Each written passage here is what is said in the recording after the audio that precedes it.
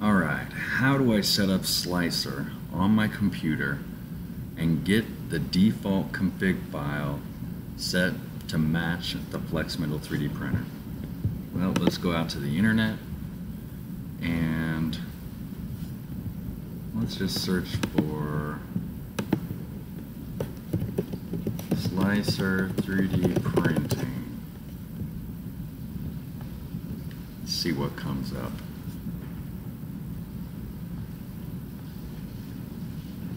Hey, Slicer.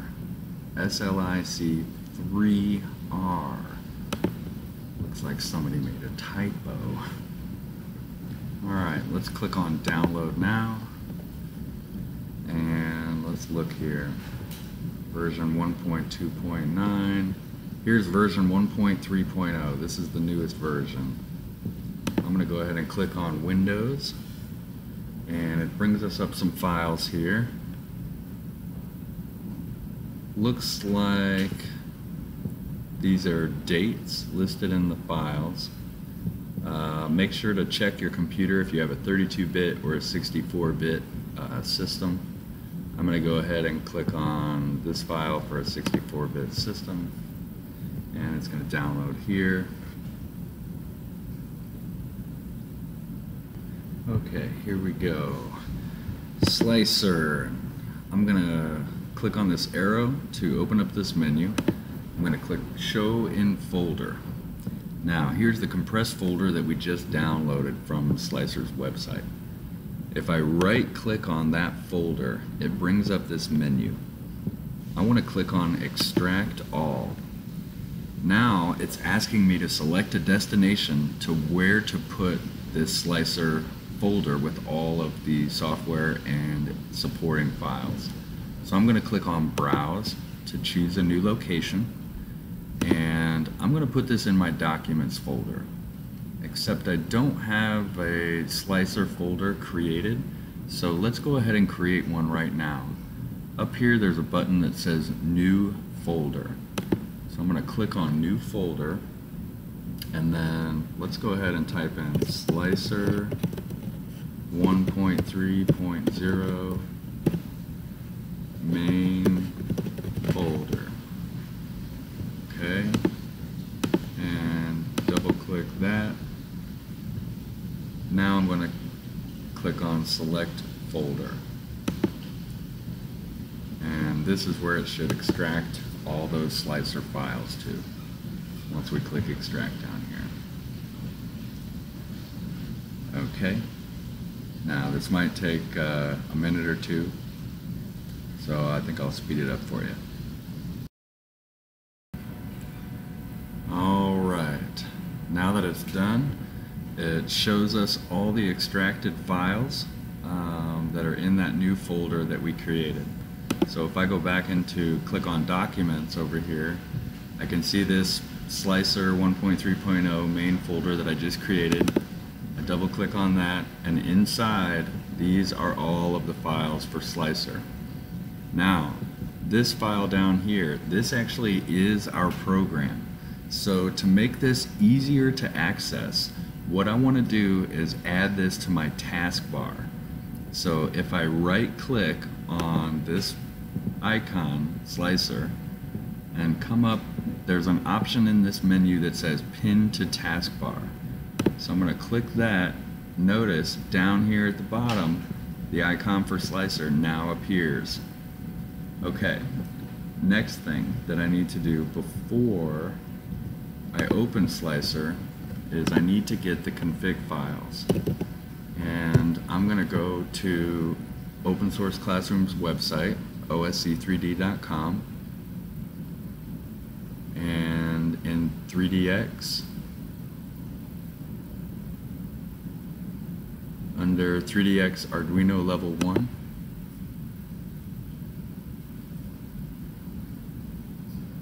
if I scroll down to the first week of 3DX under useful links, one of the links is for flexMendel config files for Slicer. So I'm going to go ahead and click on that and it automatically downloads my files into a zip folder. I'm going to repeat this same process. Now I want to, uh, if I right click on it, I want to extract all and going to hit browse because I want to go back and find my slicer folder. And I'm going to create a new folder slicer config files. Okay and now we are ready to open slicer. So I'm going to go ahead and close out everything else on my computer and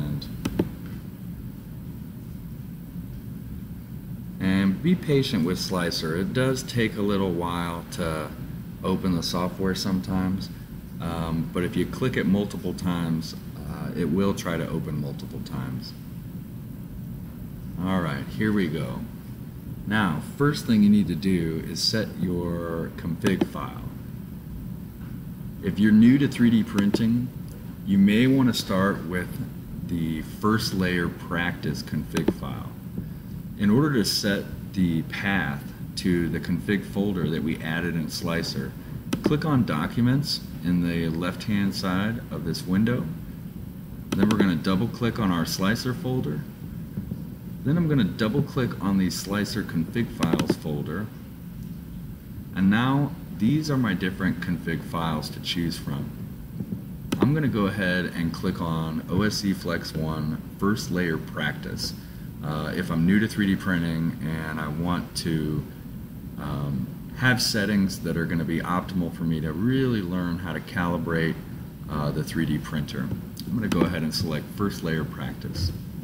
Now what I notice is that they, uh, in these drop down menus, I can see the name of the config file that I just loaded. That means that the settings in the first layer practice config file are now loaded into Slicer so that when I create my G-code file, the 3D printer will use these settings to accurately create our parts. Now, if I want to make these settings the default settings in Slicer, I'm going to need to save each one of them individually. And I can do that by clicking on the gear to the right of the drop-down menu. So the first one is Print Settings. Let's click on this gear and you'll notice that it opens up the print settings tab. If I just click on save and then OK, that saves those settings as our default settings. Next, I'm going to click on the gear by the filament settings tab. Same procedure, click save, back to the plater. One more time for printer settings save, okay, go back to the plater. Now, if I want to double check and make sure that this worked, I can close out of Slicer and reopen it. And if it worked properly, I should see the OSC Flex 1 first layer practice config file loaded in each one of those drop down menus uh, when Slicer opens up. So we'll just give it a second here. And there you have it. You can see that our OSC Flex 1 first layer practice default config file has been set. So I hope this tutorial has helped you understand how to download and set up Slicer. And uh, good luck.